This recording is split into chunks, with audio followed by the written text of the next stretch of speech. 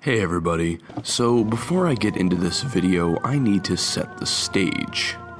It is a dark and stormy night on Halloween of 2013. You're searching the dark recesses of YouTube, seeking a video that perfectly captures the Halloween spirit. The search seems hopeless until, in a stroke of luck, you happen upon it. It is fascinating, but bewildering. What madness could have driven a man to create something such as this? Many have asked this question in the years since this video first manifested out of the dark abyss, but the story behind the video is truly quite fascinating, a bizarre case study in the unpredictable crosscurrents of the internet. This is the Dancing Pumpkin Man, a modern Halloween icon.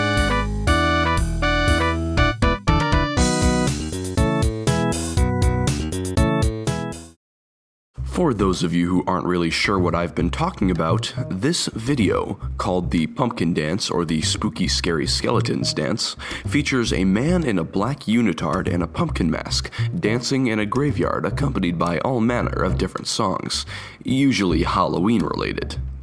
For one reason or another, this video and its derivatives have become a classic and instantly recognizable symbol of Halloween. But where did it come from, and how did the idea come into being?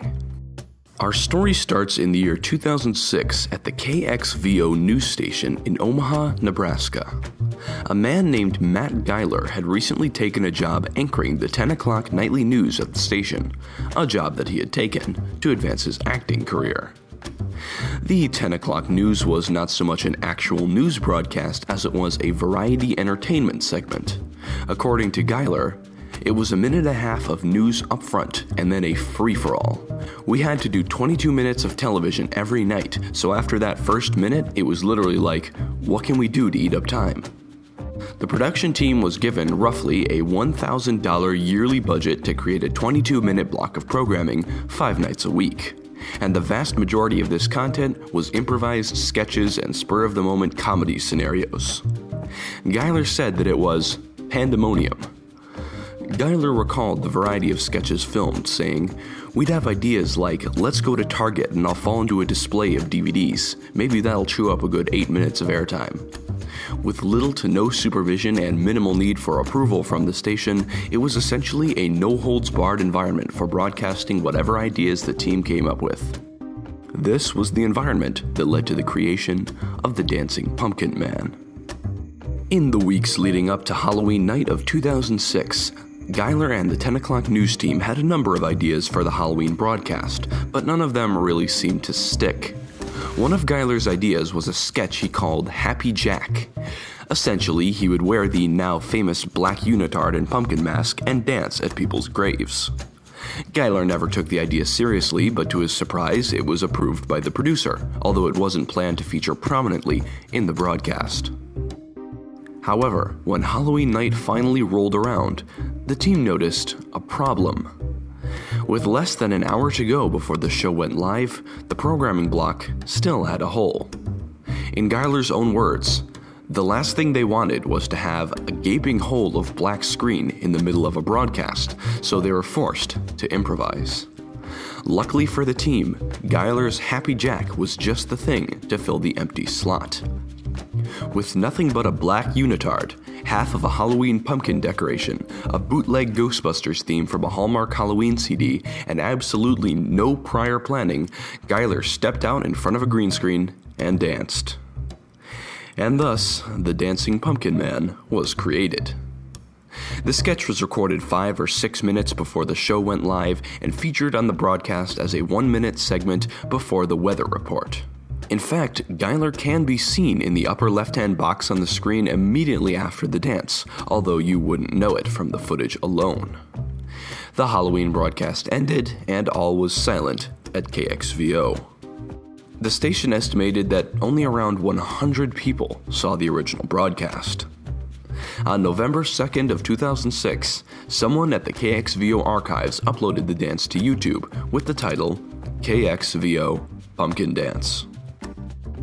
Around Christmas of 2006, the team was short on content, so they did it again. And again on Valentine's Day of 2007. In the months and then years following, nothing much happened.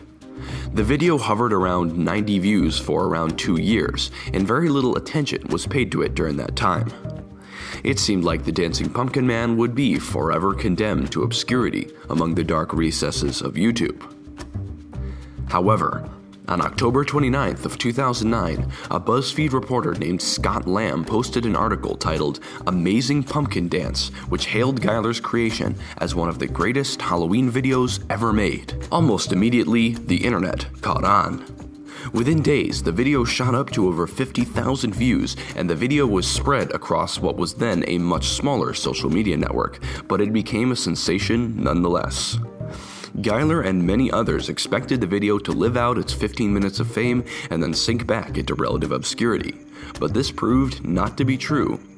If anything, the Dancing Pumpkin Man only became more popular. Its enduring success has been linked to many aspects the innate ridiculousness of the costume, the simplicity of the concept, among others. Geiler himself linked it to the universality of his dance moves. Geiler stated that it becomes this weird conflux of movements, so rhythmically inept that they're on beat to everything ever created. Due to this, his impromptu performance can be synced up to a song of the viewer's choosing.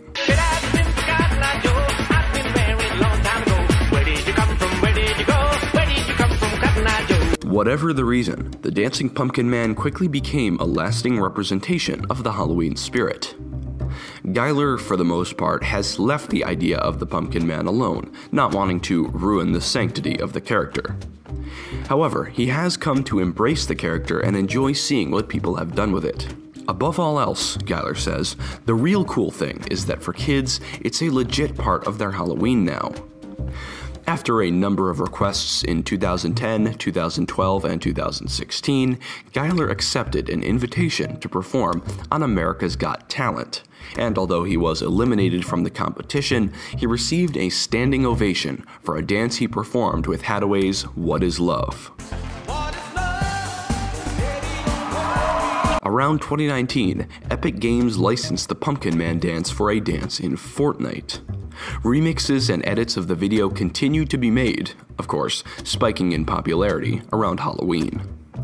With all this success, it seems like the Dancing Pumpkin Man will continue dancing for years to come. But it does one good to remember how this bizarre sensation started, reminding us all that we can never truly know who the next Dancing Pumpkin Man will be.